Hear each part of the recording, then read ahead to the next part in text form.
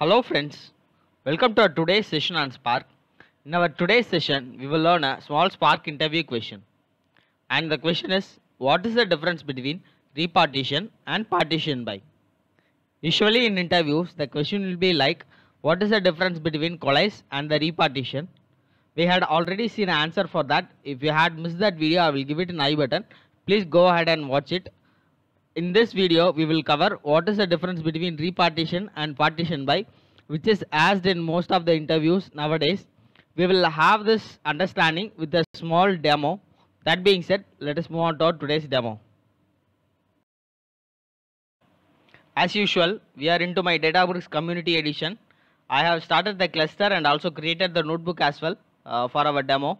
And for our today's demo, uh, to understand the repartition and partition by, I have taken a personal transaction.csv file which we have already seen in some other video and I have already uploaded this file into my GitHub account. I will give a link in the description. You can go ahead and download it and uh, use it in your use case as well. So that being said, let us move further.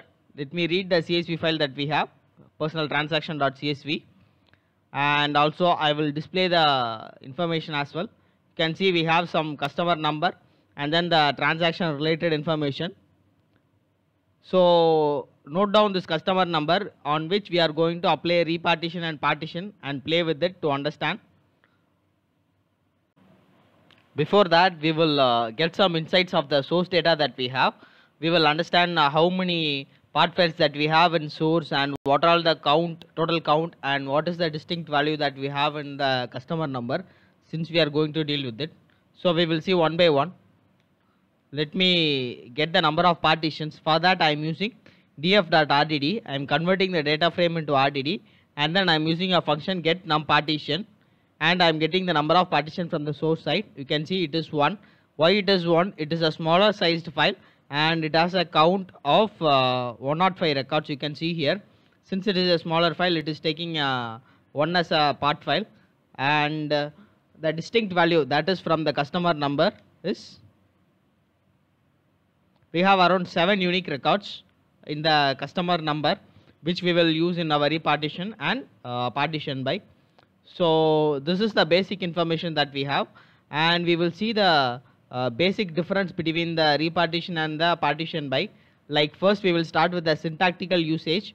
So how the repartition gets used is we will uh, give a syntax like df dot repartition of we will either we will give a number or else we will give a column name or else we can give both. We will see one by one. So here i am giving repartition of 3 which will uh, take the partition 1 2 3 so what it does is it will upscale the uh, partition or it will downgrade the partition into the given number.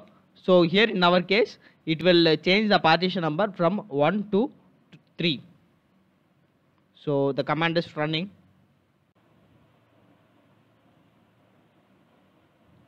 so you can find uh, the partition 1 from the source get rescaled into 3 so this is one usage. And the other thing is like i mean like other syntactical representation is df dot repartition. And we can give the column name inside this. So what it does is uh, with this column name it will form the partitions. It is not mandatory like it should form seven unique partitions since we have a seven unique value it will uh, define the optimized number of partitions by itself. I mean the spark will uh, define the optimized number of partitions by itself and it will have a considerable amount of uh, records in each partitions. So this is automatically done from the spark side itself. So even though we have uh, seven unique uh, uh, values to get partitioned by the repartition of column number will not partition it to 7 it will uh, partition it into a optimal number by spark itself. So you can find here it has returned 1 uh, which it which the spark finds as optimal number. And also we can define the number of partitions as well here. We can give 3 comma customer number i mean the column name. So this is also one way of uh, providing repartition here what it does is the number of output partition will be 3 and it will be splitted based upon the column that we are giving. So you can see the output uh, it had splitted the partition into 3 Uh, also remember one thing like uh, Spark will confirm uh, whatever the unique customer number that is available, it will resides in the same partition. Like if we have a seven unique records and it is splitted into three, Spark will uh, confirm like uh, the unique records will reside in the same partition. And we can check how many number of records were there in the each partition. This can be done by the Spark partition ID function. We have already covered this in one of our video. If you had missed that video, I will give it an I button. I have explained it that clearly. For now, understand this like I am giving the data frame partition by and I am adding a column partition by and I am grouping it and I am calculating the count. Let me display this so that we can get the information of how many records are available in each and every partitions. So the command is getting uploaded. Let us wait for a minute. There we go. You can see like it got uh, three partitions and each partition has uh, uh, some considerable amount of uh, records in it. Uh, it. We can also have a case like there might be a empty partitions as well if we are giving a, a wrong number of number of partitions here. So it might end up in a empty partition itself. Say for example, I am giving eight.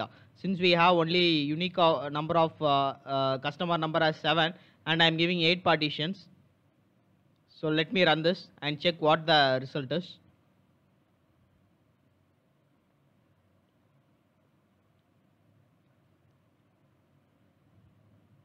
So the command is running. I don't know, I think my internet is slow. And you can see had only a six partitions actually, not a seven partitions. So other two partitions are empty. So this is the case. Uh, it will be like uh, if you are using repartition, uh, it will choose the optimal number of partitions and it will choose the number of records to be inside that partition. Spark itself does for us. This is all about the repartition syntax. And when we are moving to partition by, partition by is not available in data frame. It has to be chosen when we are uh, giving a data frame writer. So the syntax is data frame dot write and then we will be choosing a partition by. And inside this we can't give any partition number. We have to directly give a column name that is inside uh, this data frame so that it will partition based upon the uh, column that we have given. So this is the syntax. It will not show any output. As you know like uh, this is a data frame writer. Once we write it into a disk it will show the output.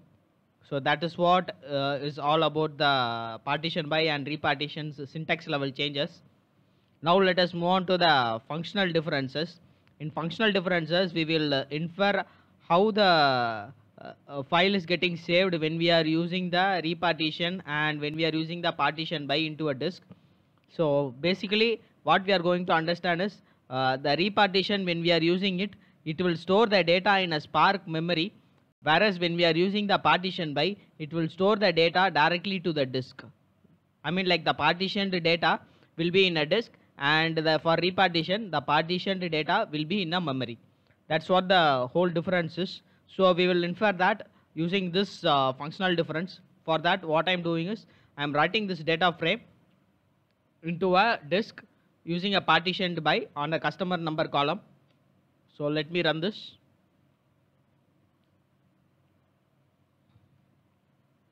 And again uh, the same command I am changing it to a partition by and I am running the on top of customer number. And I am saving it into a different location. You can see I am saving it here into a repart underscore check. And I am using the part by underscore check here. So I am using a different location. And let us uh, infer the location path. I will give a fsls command. I am using a magic fs and I am giving ls command. And I am giving the path uh, which we will infer. And uh, let us see what is the change that has been happened when we are using partition by and repartition by. So before moving on to checking this, I would like to show you one thing. Like re if we use repartition, it obviously involves shuffle. But whereas if we go for the partition by, it will not involve shuffle. It will directly push the data into a target path. It will not involve any shuffle. It will directly put, push the data into a uh, target path that's what I want to show you here we can check it. Like if I go to the Spark job and if I view it you can see the exchange data that we have which tells us like we have a shuffling in this data. So this is one thing. And if I go for the partition by and if I choose there will be no shuffling you can infer here. So this clearly tells us the shuffling is not involved when we are using a partition by it will directly push the data into a target path. Whereas if I use the repartition it will make a shuffling in the data. So that is one thing. And let us move ahead and check the path that we have. I am giving FSLS and the reparts check path. So from this output we can see like the repartitions uh, uh, write has created only one partition inside a folder and also you can see like this is not segregated based upon the uh, customer number that we have given. So from this it is clear that repartition uh, will segregate the data in a spark memory. Whereas if I give a, a FSLS command on the partition by check you can see we have we got created the seven folders. And this seven folders represents each and every customer unique customer number that we have for each unique customer number we have we will create a folder when we are using a partition by. So with this the segregation is happening in the target side itself. So the partition by when we are using partition by it will create a disk level segregation in a target. If I go through the customer number specific customer number you can see inside that I have a part file which will hold the data of only this customer only this particular customer number. This helps us in different way like uh, if we are uh, going to perform some filter operations on top of the data that we have uh, this will uh, return much much faster uh, much much faster than that of the normal uh, source data that we have we will check that as well in few minutes. We will check the performance after writing it into a disk using a partition by and before uh, that before as the data that we have. So for that what i am making is like i am reading the csv file that we have just created part by chk and i am filtering it for the particular customer number that we have. I am using a filter command here. You can see the filter operation i am performing and i am storing it as a data frame. Let me run this and let me display it I am performing the action display. So you can see it got displayed and now we have a normal uh, data frame that we already have in underscore df. So I am using that and I am filtering it again. So you can see some difference between the time, I mean timing difference between the two commands. Here it got 41 seconds, whereas uh, the normal one without, without the partition, it took 58 seconds. So this might be a minimal amount of uh, difference, but if you are dealing with the TBs of data, this will be a great uh, time saver for you guys. So this is what I thought of sharing with you guys today in this video. Uh, to summarize, what are all the things that we saw in this video?